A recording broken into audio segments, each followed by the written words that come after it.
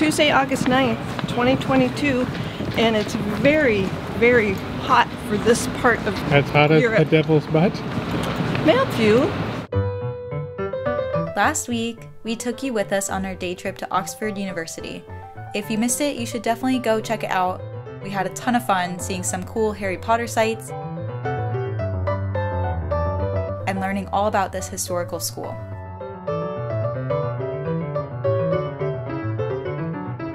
This week, we're wrapping up our time in the English countryside by visiting two of the most fascinating cities in the southwest of England Bath and Bristol. These cities couldn't be more different from one another, and we really loved our time in each of them, so we hope you'll stick around. Be sure to like and subscribe, and enjoy the journey with us.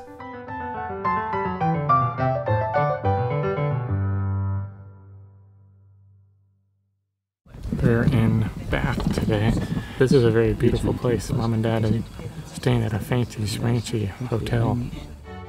Matt's parents were staying at the Royal Crescent Hotel and Spa. It was so nice for them to let us come and spend the days there too. We would definitely recommend it if it fits within your budget, so I'll create a custom booking.com link for it in the description of this video.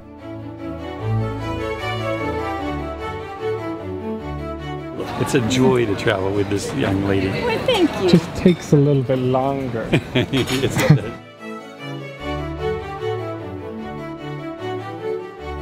Our first stop of the day was Bath Abbey.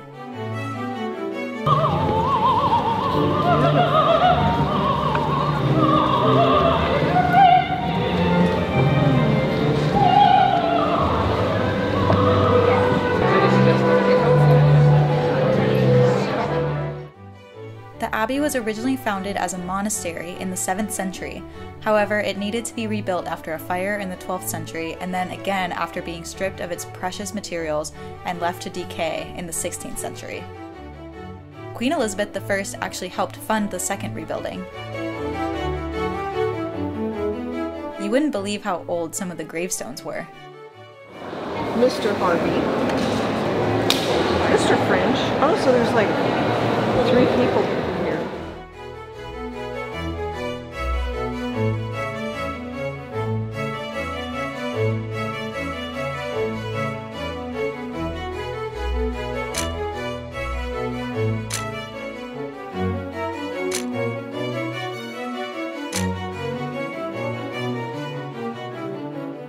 way back to the hotel, we found a great Italian deli for lunch and also saw another Bridge of Sighs imposter, the Nerve. We spent the evening wandering the Royal Crescent, and eventually we settled down at the bar for drinks and some of the most delicious pasta dishes.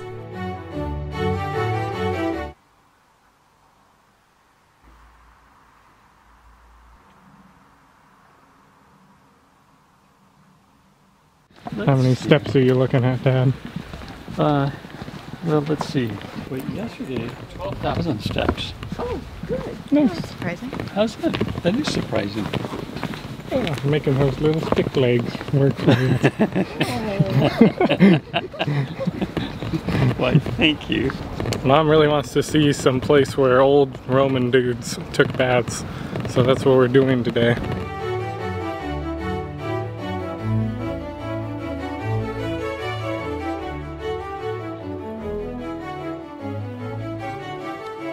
It's a jolly good day in Bath. It's Tuesday, August 9th, 2022, and it's very, very hot for this part of As hot as the devil's butt? Matthew.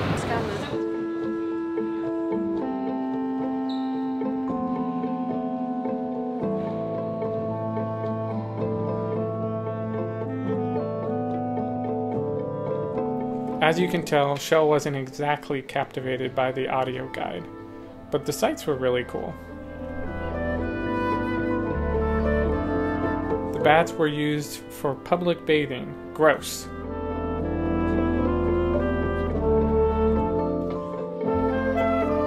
The water in the baths comes from rainfall that collects deep underground, heats up from the pressure, and rises along fissures and faults in the limestone into these baths.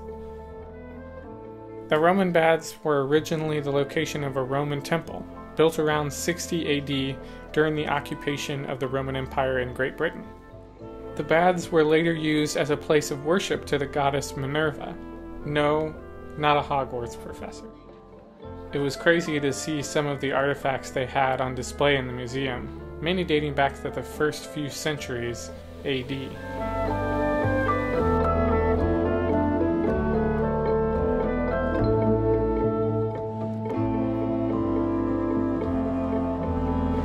What did you think, Dad? Very interesting, and I'm glad we have jacuzzis today. You should have your mom give a full explanation. Oh, Mom's listening to yet another. She's listening to every single one of the stock possible. Is she actually? Oh, look, a sign that tells you you're not supposed to touch the water. Interesting.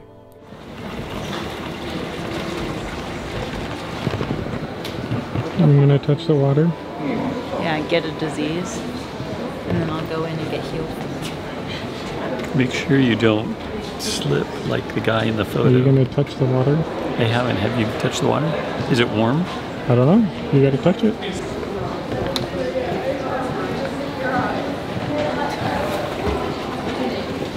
It's warm. Dad, you're not supposed to touch the water. You tricked me.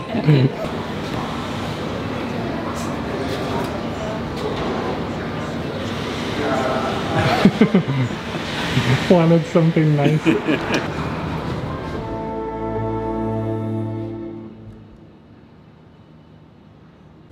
finished up at the baths, and now we are heading to this place called Sally Lunn's Buns. Well, it's called Sally Lunn's Restaurant, and apparently they are known for their buns.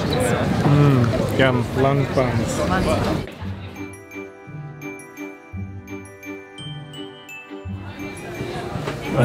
Mind your head.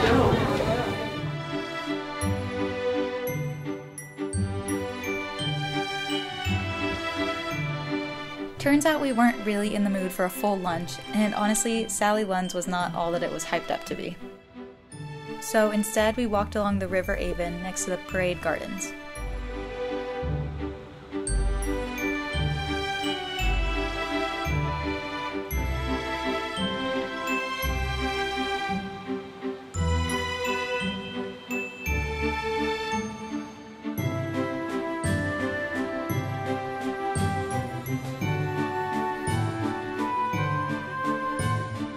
We took a detour along Pulteney Bridge, and our empty stomachs would not allow us to pass this bakery.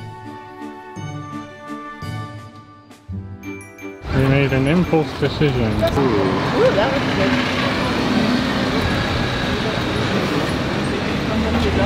Make it really good, whatever it is. You're not getting any.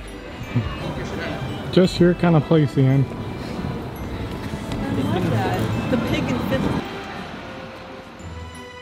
We stopped inside St. Michael's Church, but we didn't realize it had been transformed into a coffee shop. We also found Poundland, England's dollar store.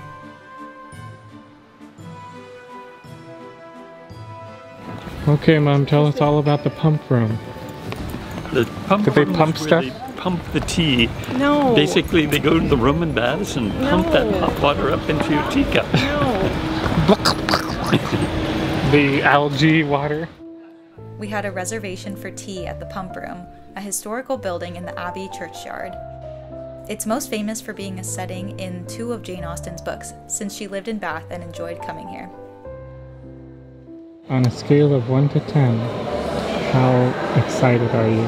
10.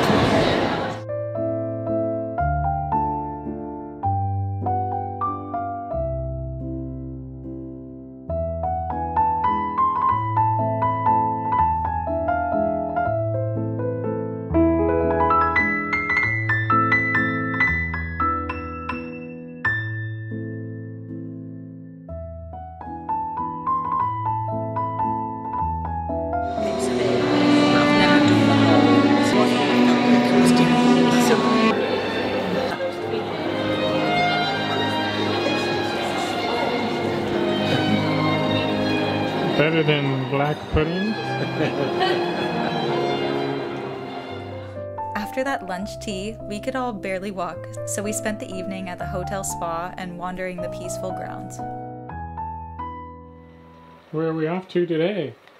We're going to Bristol to see the largest hot air balloon festival in Europe, which just happens to be the week that we're here.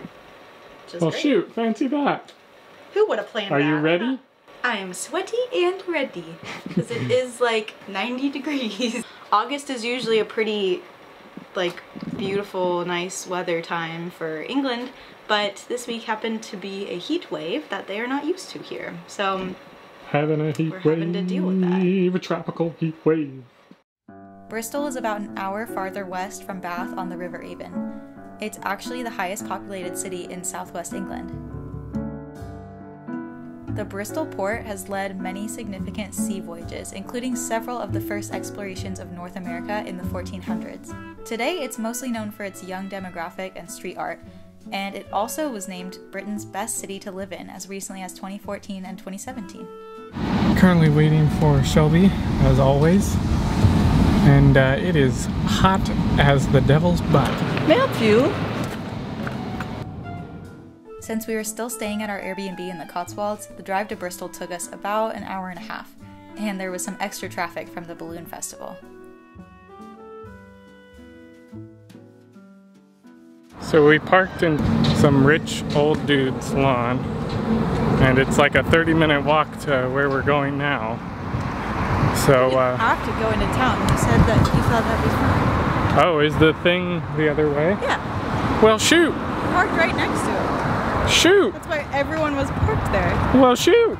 You said you wanted to walk by the harbor, so we're going to the harbor. Oh, okay. I just got done talking to Jordan about backpacking, and I was like, yeah, I want to do that. I want to backpack. But can't walk. But can't walk 30 minutes into on town. A straight path, no slope. But it's so hot. We came for rain and cold weather, and we got. I know we kind of did. But I think we're gonna get a little bit of that in Scotland. definitely. This looks like an epic skate park. This is cool. I know Bristol's known for its like street art and stuff. So. That's super cool. Oh boy, look at that river. Pretty. There's a lot of river in there. It's a pretty rough river, if you ask me. We're currently trying to get to those houses, hmm. and we're across the river on a random road.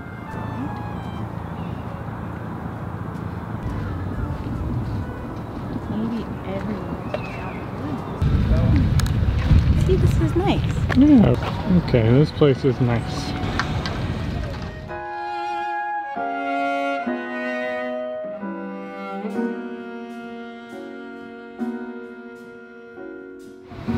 Now this is more my speed.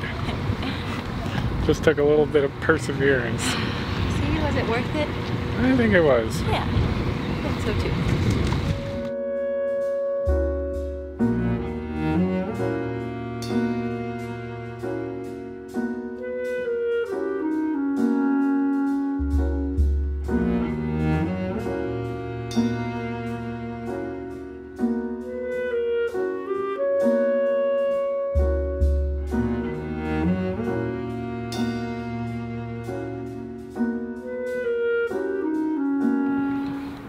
Checking out the map. It's one of the things she's best at. Just wanted to clarify that what I meant by always checking maps doesn't mean that she's good at following maps and directions.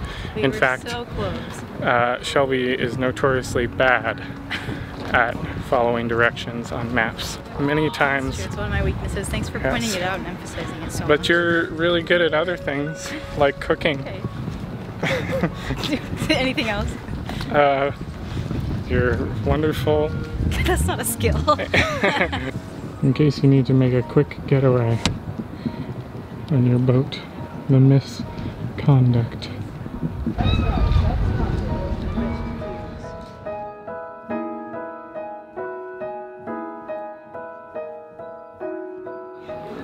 So the seagull is like going ham. I am parched. We must look in search of drink. For a drink that's gonna dehydrate you some more. Yes. I have water. I don't think that's what you're looking for. No, I'm looking for a good, strong beer. Oh, or a spritzer. I could go for a spritz. sounds wonderful right Uh, we found ourselves a place to get a drink. And it is very toasty. So I to get a beer in me.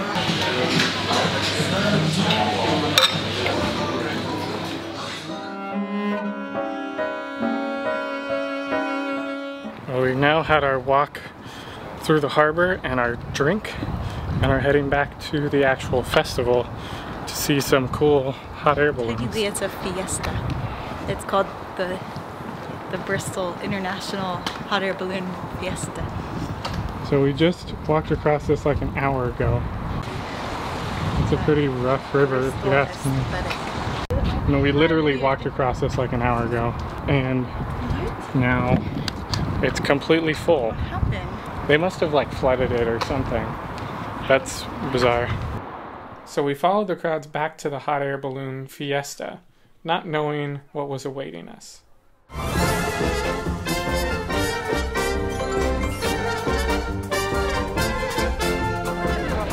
What have you left me into, Shelby? I'm very confused. I'm learning as I go as well.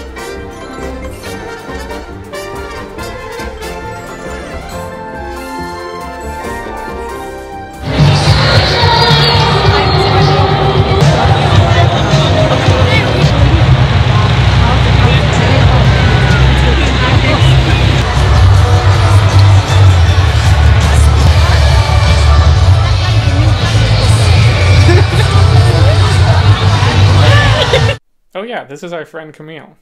This is ridiculous. There's so much American culture. This is the greatest show.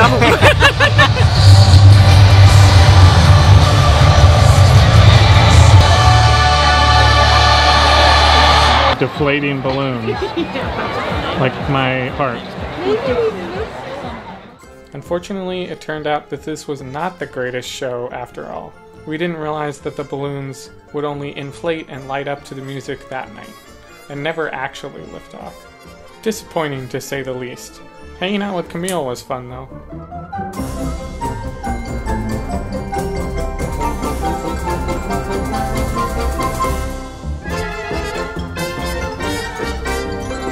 So we have to update this because we originally thought that this was going to be like a let's see really cool hot air balloons go into the sky. All the photos online that I saw look so picturesque. They're So over the amazing. bridge, like so Nope. pretty. Nope.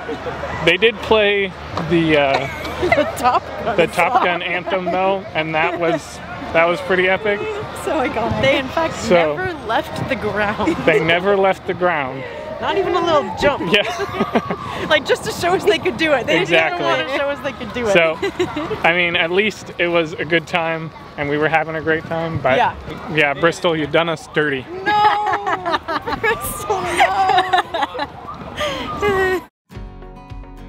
Next week, we're in Scotland. where we'll say farewell to the English countryside and continue our tour through the UK.